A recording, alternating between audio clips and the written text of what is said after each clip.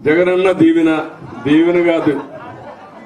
ఏం చెప్పాలో నాకైతే తెలియదు నేను అడుగుతున్నా మిమ్మల్ని అందరినీ సమాజంలో అందరికి ఇచ్చిన కార్యక్రమాలు తప్ప ఒక్క రూపాయి మీకు ఎక్స్ట్రాగా ఇచ్చుంటే చెప్పండి తమ్ముళ్ళు అని మిమ్మల్ని అడుగుతున్నా.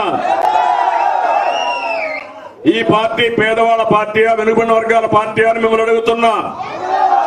సమాధానం చెప్పే ధైర్యం ఉంటే రండి మాట్లాడదాం. మీరేం చేశారు? మేమేం చేశాం?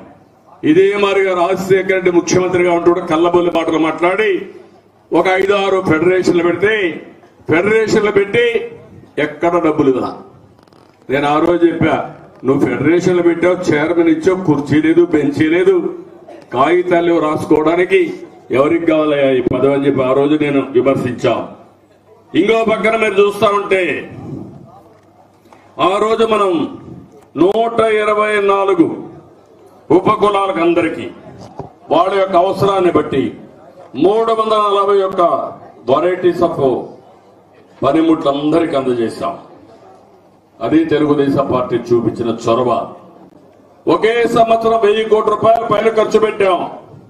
ఇంకో పక్క ఒక కులాన్ని బట్టి ఇప్పుడే వడ్డీలు చెప్పారు కొల్లేరులో. ఆ రోజు నేను ఒకటే ఆలోచించాను. కొల్లేరులో ఎవరికైనా హక్కు ఉందంటే అది మొదటి హక్కు. వడ్డీలకు ఉండాలి వాళ్ళే చేతులు చేసుకుంటారు చేపలు పట్టుకుంటారని ఆ రోజు చెప్పారు. ఇప్పుడు మల్లహ పని చేస్తున్నారు వాళ్ళు.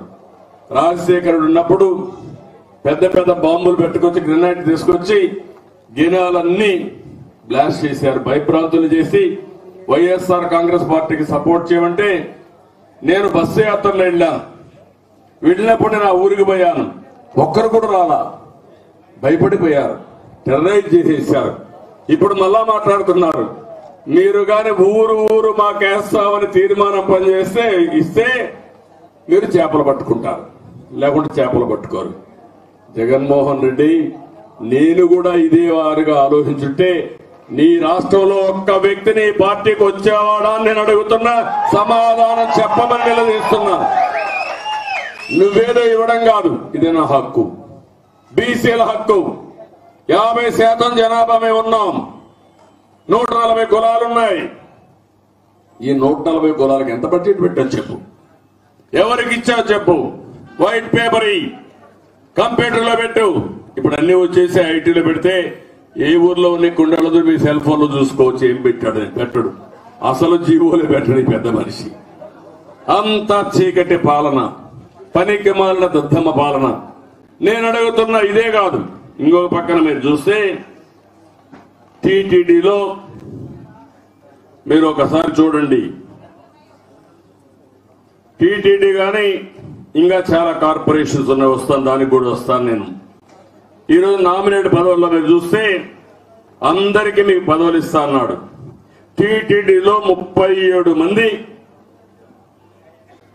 మెంబర్లు. ముప్పై ఏడులో బీసీలు ఎంత శాతం యాభై శాతం.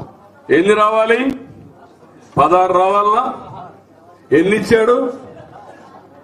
మూడు ముష్టి మూడు. మూడు రాజధానులు అక్కడ కూడా మూడు బుక్కలాట. ఏం చెప్పాలి? అంటే అడిగేవాళ్ళు లేకుండా. ఇంకో పక్క నేను అడుగుతున్నా. ఈరోజు మీరు ఒకసారి చూస్తే యూనివర్సిటీలు ఉన్నాయి. యూనివర్సిటీలో మీరు చూస్తే పన్నెండు ఉన్నాయి.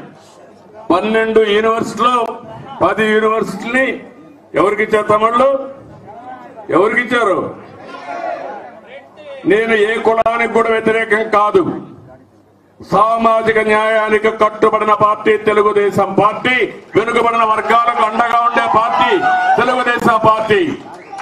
ఇక్కడుండే వెనుకబడిన వర్గాల ద్వారా రాష్ట్రంలో ఉండే యాభై పర్సెంట్ వెనుకబడిన వర్గాలు అడుగుతున్నా. క్వశ్చన్ చేయమంటున్నా. మీ నాలుగుగా నేనుంటా. మీ తరపున పోరాడతా. న్యాయం కోసం అనునిత్యం పోరాడతా. చేయకపోతే నేను వచ్చిన తర్వాత వడ్డీతో సహా చేసి మీ రుణం తీర్చుకుంటా. ఇంకా ఒక మాట చెప్తున్నా వడ్డీతో సహా.